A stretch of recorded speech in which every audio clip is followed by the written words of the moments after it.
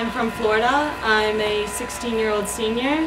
And what I do is I take algae and convert it to a biodiesel in an economically and environmentally feasible fashion to reduce our dependence on fossil fuels. So, woo, woo. I'll get to that. So the algae to oil pathway. There's four steps of it. The cultivating, which is the growing the algae. The harvesting, which is taking the algae out of the water because you can't have water when you turn it into a biodiesel. Extracting, which is extracting the lipids, which are your oils, from the algae cell. And lastly, transesterifying it, taking these oils, these lipids, and turning them into a biodiesel we can actually use. Currently in all these processes, they use harmful chemicals, a lot of electricity, and it just hurts our environment even more. So what I've done is I've reduced the energy going into it and used very little harmful chemicals, making it a green process. So the facts about algae. First, algae is what I consider one of the best biodiesel crops. It doesn't take a lot of land to grow. That right there, my cultivating chamber, I could put that in my backyard, I could grow my algae. I could scale them up and grow them larger. And about the landmass of Maine is about the size of land you need to grow enough algae for the whole United States. And what's great about algae is it doesn't take away from our food source. Because most people aren't having algae for dinner, but they're definitely having corn and soybeans. So the planning. I engineer and designed all this equipment myself. I draw it on AutoCAD, and then I build it in machine shop. So right up there, those are my vessels. Here's a model of it. And you have a control variable chamber below that pumps CO2 through using a closed loop system. All of my materials I have are from Home Depot. I just go up and down the aisles. I'm like, well, that's usable. So that's all of that. Now with the building. The building is hard. I use a machine shop. I work with the drill press and a lathe, and I build my machines. So let me talk about my cultivating chamber right here. It's a design of it, it's smaller, usually it's in a control variable box, and these are just PVC pipe. It's double walled because in between each wall I had either neon, helium, or natural gas. And that's because each of them let through a different light spectrum. The neon, the red, orange, the helium, the blue, green, and the natural, the full light spectrum. Now, as you can see, it rotates for both mechanical and air agitation. I have an air stone inside that produces minute bubbles of CO2, allowing the algae to absorb the optimal amount. I also have paddles, and the paddles are a little bit distant from the wall, creating turbidity, moving the algae from the center of the vessel to the outside, giving it the optimal amount of photons. Now, on the end here, you can see these. They're rotary unions, and what they allow is for this apparatus to rotate while CO2 is constantly pumped through. So that's what the planning and the building and the cultivating. So as I was talking about, I had three different vessels, one with the neon, helium, and natural. And the reason I tested those is they let through different light spectrums. Now most people believe that would grow the best under the blue-green wavelength because that's really high energy, but that's a common misconception. Algae actually grows the best under the red-orange because the blue-green just reflects off the algae cell, which is green, while the red-orange actually penetrates through the algae cell, speeding up the cell cycle, speeding up Calvin cycle, glycolysis, and the Krebs cycle, producing more ATPs per rotation, allowing the algae to grow to larger quantities.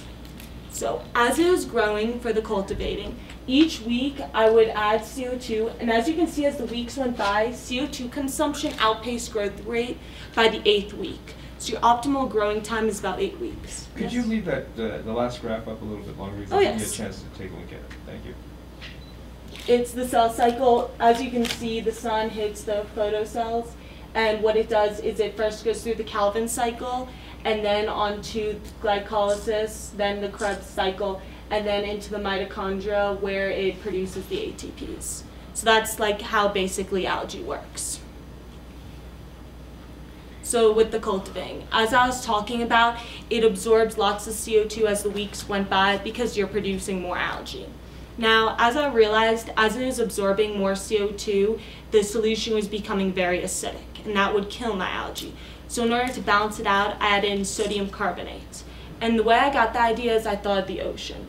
The ocean absorbs most of our CO2 from the environment, but why isn't it acidic? That's because all your carbonates, your shells, and your corals, which dissolve, raising the pH to more basic neutral level. So as you can see, I would do a cell count each week. I would use a hemocytometer, which is used to count red blood cells. I just sit there with a microscope and count. And as the weeks went on, at the 12th week, the neon grew more than the helium, and the helium grew more than the natural. So it grew the best under the red-orange light spectrum. Now, at about the 12th week, I shut off CO2 consumption. And what that does is stresses out the algae. Sort of like a bear going through hibernation, it produces more lipids, making it plump and ready to harvest. so, onto the harvesting aspect. Now, with harvesting, currently they use centrifugation, which uses a lot of energy and they also use harmful chemicals. And also in algae, they dry it. And what I did was I have a total wet process. I don't dry my algae, so I don't have to use all those chemicals. So I use simple ionic flocculation. So I add in iron powder, which ionically bonds with oxygen in H2O, forming Fe2O3, and iron oxide, which acts like a polymer sticking to the algae cell wall through coulombic interactions, your van der Waals, your IFAs. And this forms a polymer, allowing the algae cells to stick together, making them denser and sinking to the bottom. I then simply dewater the remaining solution from the top with a pipette, and because I use no chemicals, I can recycle it and grow more algae. I then take my slurry, which is mostly biomass, and run it over a neodymium magnet, which is seven times stronger than your average magnet, to take out any excess iron powder, and then I'm on to the next step of the extracting. So, on to the extracting. Now the extracting part I'm very proud of this year because I invented the cellulose blaster. Currently, they use all these chemicals to extract the lipids from the algae cell, but all I do is use high pressure, osmotic shock, homogenization, and sonication. So, it's really tightly sealed. So with the cellulose blaster, I have this tank, and I add in my algae slurry along with salt. And what the salt does is form osmotic shock.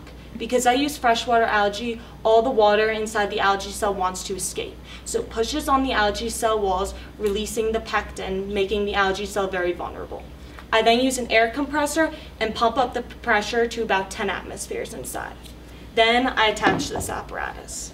So if you see through here, I'll pass it around, there's a very small hole. And the hole is actually 1 32nd of the diameter, the smallest drill bit I could find. So when I attach it to my tank and open up the valve, the algae slurry comes shooting out at a very high velocity through that tiny hole. And as you can see on the sides, there's horns, and that's hooked up to an ultrasonic generator. And I engineered those horns to increase the frequency of my ultrasonic waves. So as it goes through this tiny hole, it's bombarded by ultrasonic waves, totally shearing the algae cell wall and it comes out at such a high velocity that I had to build a velocity decelerator to slow it down before entering in the beaker below. After going through the cellulose blaster, not one algae cell was left intact. Totally obliterated it. So at the end you can see came out pretty fast, splattering everywhere. And then I give it a distilled water bath, and at the end you have a lipid layer on top, proving that my blaster works a velocity deaccelerator. It's just a tube inside of a jar, and as it goes around, it slows it down because the algae, like, as you increase distance, velocity deaccelerates. Your ultrasonic horns, did you buy those? No, I built them. And what did you use to power those? Um, it's, well, I have it hooked up to an ultrasonic generator, which I didn't bring with So me. That's how many outdoors. watts are they? It's about one kilowatt. So it's a pretty big generator then. Um, yes, but I actually had like I tested it with that one first, but then I used a one watt one for actually powering it because I was afraid that it was actually going to explode on me. Because I was just thinking in my garage, I'm like, okay, please do not explode. I don't want to deal with this. So, And uh, what did you find was the ideal wattage for your? um, about one watt was enough to power it. But next, y- well, this year, what I'm working on, I'm working with different like energy levels to see if like I could find the resonance of the algae cell so break at a faster pace. Any other questions? Do you move on to transestifying? Oh, yes. Keep going, that's where you, I was headed. All right. How so much are you selling those for? Nothing right now. I'm actually working on making it better and improving it because, as you can see, it looks a bit sketchy, as I would call it. It's Go see simply. some of our setups. I've got a question. Yes. What, what kind of algae are you using and where do you get it? I use Spirogyra algae, and I've actually been growing it for four years. But I first ordered it online, and when I got like the little container of it, I thought they sold me water because it was clear, and I was like, "Wow, all right, thank you for the water." But I grew it a little bit, and I have a bioreactor that I built my first year in eighth grade, mm-hmm. and it grows my algae. It's like a nursery to larger quantities before I start start is that a, a high or a low lipid algae? It's actually one of the highest lipid algae It's called contents. Spirogyra. Yes, Spirogyra.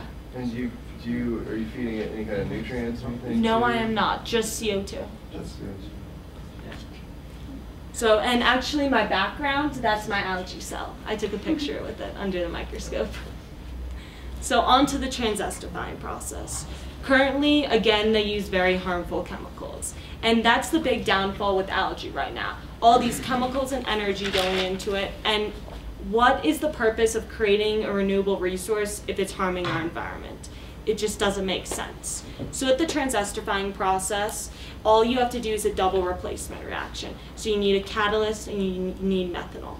Now catalysts that you guys use are usually like sodium hydroxide, but I use barium hydroxide.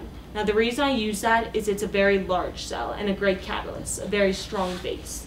And in order to convert algae to a biofuel, you have to have a very strong base catalyst. So I use barium hydroxide and methanol in a 3 to 1 mole ratio to my algae triglycerides and put it in a shaker for 3 hours. After speeding up catalytic conversions, I shot it through the cellulose blaster one more time. Now the reason I'm using the cellulose blaster so much is a prototype for next year in which I'm going to do in situ transestification. So I'm going to combine the extracting and transestifying processes into one using high-powered water molecules as my way to power it. So as it goes through the cellulose blaster again, it's violently mixed, and at the end I give it a distilled water bath and I my unfiltered oil G, which you can see at the bottom. Now I actually burn that compared to number two diesel, and it burns hotter and longer, which means it's better for our engines and it's better gas mileage. Question, uh, have you Yes. tested it against the standard for biodiesel, ASTM wise, and what did you find? Well, I actually have tried to send it to a lab, but no one will take it from me. I don't work in a lab or have any help. I do it all in my garage. So I've been trying to contact labs. Yes? it for you.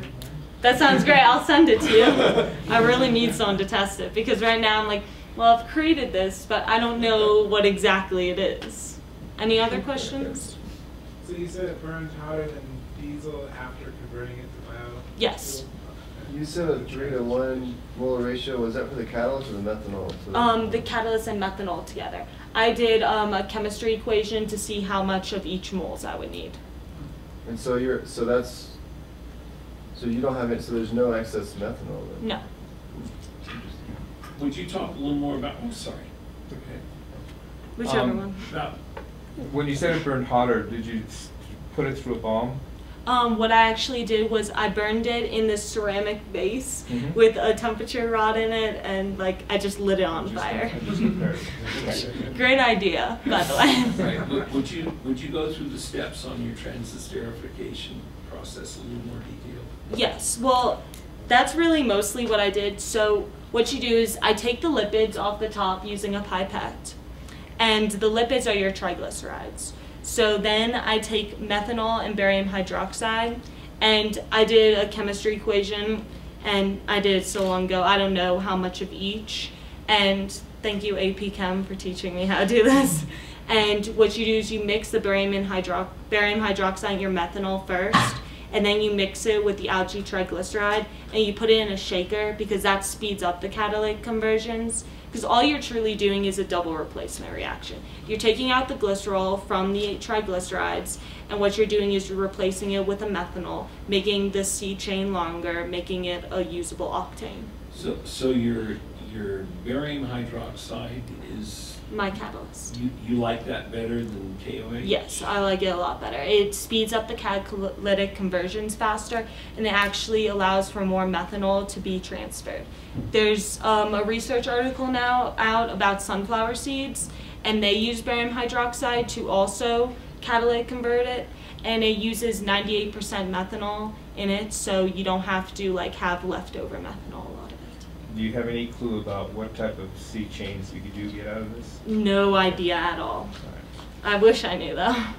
yes. Um, did you say you were using water in the, when you were sending it back through the, um, No, Glass- I give or it a distilled water bath to Oh, just bath. have it even out into do you, layers. do you have to like dry it afterward? No, I do not. I just use a pipette and I like measure it. I'm like, okay, that's all the triglycerides. So that's what I do. Any questions? Yes. I was gonna measure if you, I was gonna ask if you measured the lower heating value, but. No. I wish I could. Yeah.